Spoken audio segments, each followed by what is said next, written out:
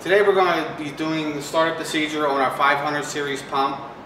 The 500 series pump is similar to the 560, 600, and 6000 series pump. Basically the same procedure. So today, this particular pump uses one quart of oil in the gearbox. There are other models that might take two, three, or even four quarts of oil. Oil is critical when it comes to these pumps. Um, you need to have that you need to have so much oil in the pump for it to operate properly. When filling up the gearbox, you have your oil fill cap that's, that's in the back of the pump. You'll see the oil fill cap.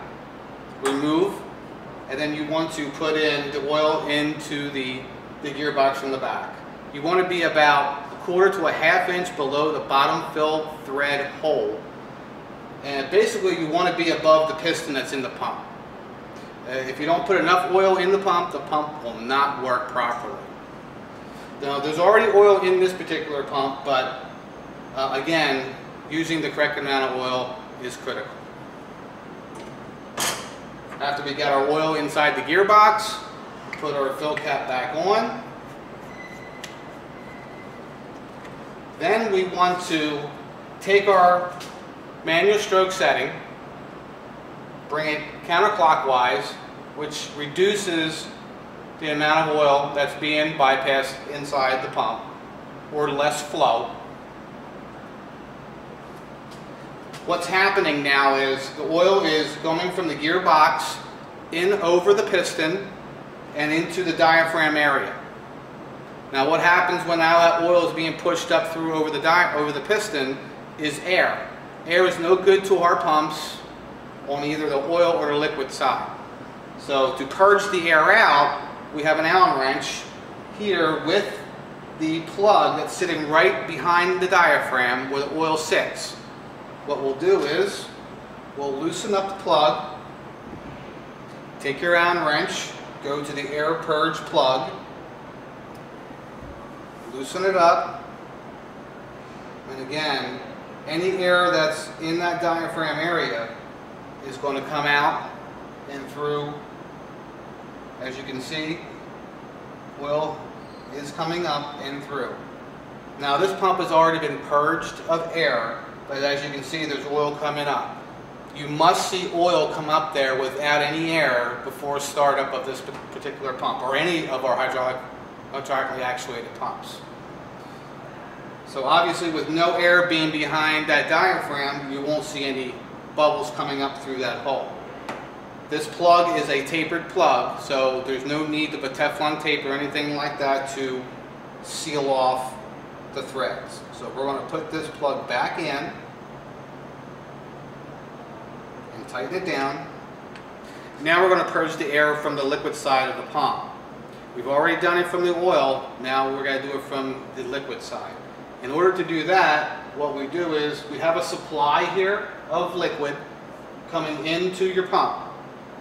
We also have a calibration column which we're going to measure our flow. But right now we have our valves closed off. So we can open up our cap. This is our discharge cap. Now we do it a couple turns and we go back to our supply, open up our valve, and we can go a little bit. We see that we're letting liquid out of the pump. Now this pump has already been purged of air, but to get the general idea of what you need to do when purging air from the liquid side of the pump.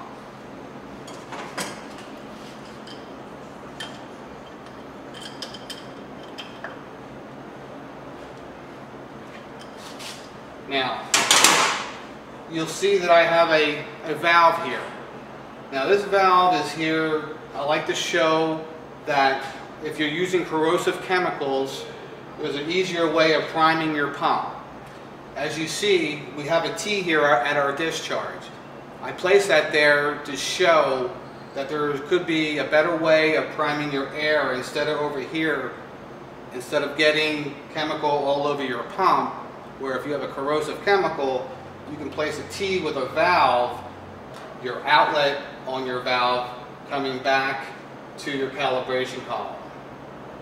As long as you have a flooded suction coming down into your pump, gravity feed takes on, takes over, you open up your valve and you can purge any air that's in the pump just by force of gravity into the pump head.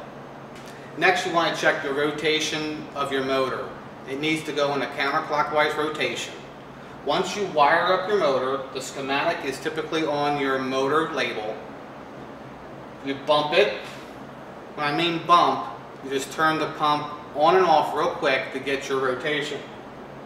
Now you can't see in the camera frame, but it is going in the counterclockwise rotation. If it's not going in the right rotation, typically all you need to do is interchange two wires to change the rotation on your motor. And again, it should be on your label on how to do the wiring. Next, we want to start the pump. We start the motor up. We start the motor up on zero stroke, with, which is the, the micrometer dial all the way out to zero, counterclockwise. Now what we do is we typically let the pump run for 5 to 10 minutes on that zero setting. Once you go through that time frame, we adjust the knob to a setting. And, and, if you have a calibration column, and in this case we do, we're going to we're going to see the flow coming down in the pump. So what I'm going to do is I'm going to shut my supply off, open up my calibration column, and now we're going to pump through the column.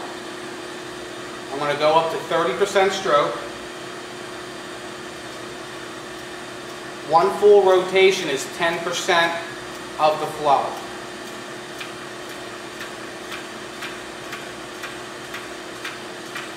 Now we'll typically let that sit for five minutes. And as you see, we are starting to pump. Now this pump has already been broken in, but typically if you have a pump that's relatively quick or faster, it will start to pump. Now after that five minutes, we'll take it down to zero. All we're doing is just kind of getting that oil hot and getting it moving. And if there is any air back behind that diaphragm, even though we purged it, sometimes there could be air behind there still. We can kind of cycle it through. And then once we're back at zero, we move it up to 60%.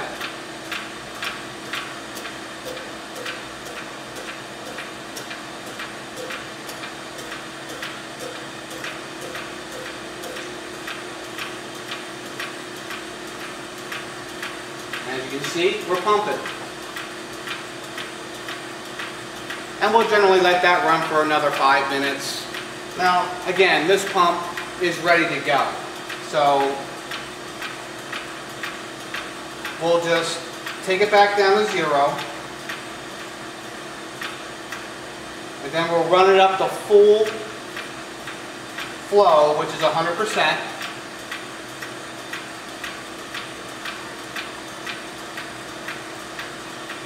now we have full flow. Now I'm going to put a little bit more fluid in here. And just let it pump. Now this is a drawdown tube. You can do a test on it to make sure that the pump is pumping at full flow. But I like to let the pump run at 100% for, you know, 15, 20 minutes. Make sure that everything is good to go. Um, and that's and that's basically how you would start up a 500 series, 600 series, 6000 series, and 560 series pump.